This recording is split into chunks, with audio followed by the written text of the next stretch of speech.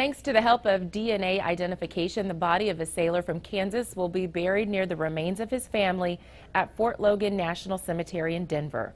Wallace Eakes was killed in the Japanese attack on Pearl Harbor when his ship, the USS Oklahoma, was torpedoed and sank on December 7, 1941.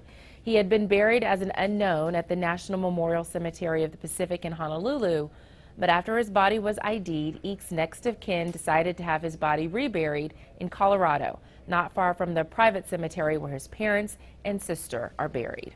Angela Lang covering Colorado first.